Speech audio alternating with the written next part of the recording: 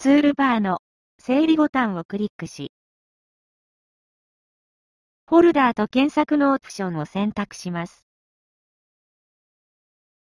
表示タブをクリックし、登録されている拡張子は表示しないのチェックを外します。OK をクリックします。